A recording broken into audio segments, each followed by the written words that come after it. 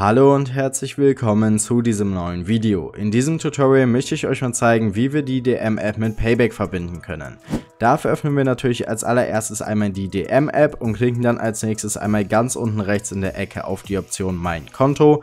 Ich setze jetzt für dieses Video natürlich mal voraus, dass ihr die DM-App bereits installiert habt und euch dort auch schon ein Konto erstellt habt.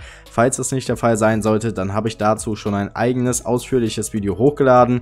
Blende ich euch hier gerade oben rechts in der Ecke mal ein. Schaut euch das dann sehr gerne an und kommt danach zu diesem Video hier zurück.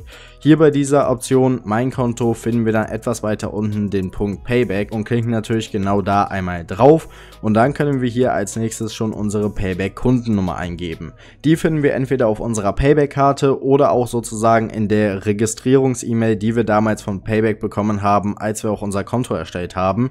Tragt hier also einfach einmal eure Payback Kundennummer ein, auch das mache ich gerade einmal und sobald wir die dann hier eingegeben haben, klicken wir unten einmal auf Konten verknüpfen. Als nächstes werden wir dann noch auf eine Payback Seite weitergeleitet. Auch hier sollte die Kundennummer Kundennummer von davor direkt noch eingetragen sein und wir klicken dann natürlich nochmal auf Weiter. Dann müssen wir jetzt noch einmal unser Payback-Passwort eingeben. Auch das macht ihr also an dieser Stelle natürlich einmal und euer Passwort solltet ihr natürlich selber am besten wissen. Falls ihr das allerdings nicht mehr wissen solltet, dann klickt ihr darunter einmal auf die Option Passwort vergessen und dann könnt ihr eben mit eurer E-Mail-Adresse euer Passwort auch ganz einfach zurücksetzen. Auch hier klicken wir dann als nächstes wieder auf Weiter. Dann müssen wir hier noch einmal unser Einverständnis zu den Auftragsbedingungen geben. Ihr könnt euch das Ganze natürlich gerne auch einmal durchlesen, aber am Ende müssen wir das Ganze sowieso akzeptieren, um fortzufahren.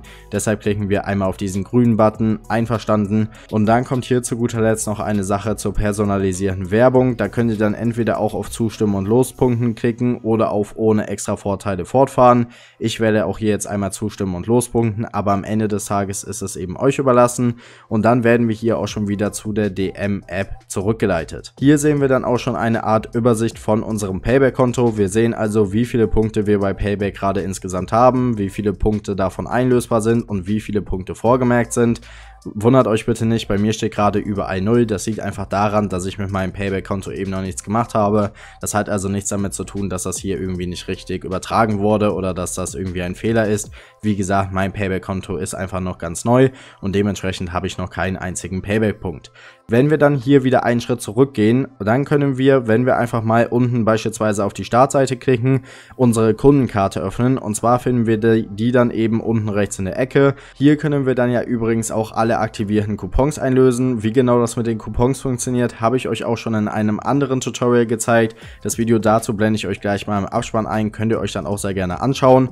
Aber jetzt, wo wir eben die DM-App auch mit Payback verbunden haben, sammeln wir dann eben bei unserem Einkauf auch automatisch Payback-Punkte, wenn wir diesen QR-Code dann eben bei DM an der Kasse scannen. Nur noch so als kleine Info, wenn ihr möchtet, dann könntet ihr hier rein theoretisch jetzt auch noch Payback Pay als Zahlungsmethode einrichten. So einfach können wir also Payback mit der DM-App verknüpfen. Wenn ich euch mit diesem Video weiterhelfen konnte, dann lasst mir sehr gerne einen Daumen nach oben und ein Abo da. Schaut euch auch gerne hier im Abspann die anderen Tutorials von mir zur DM-App an. Vielen Dank fürs Zuschauen und ciao.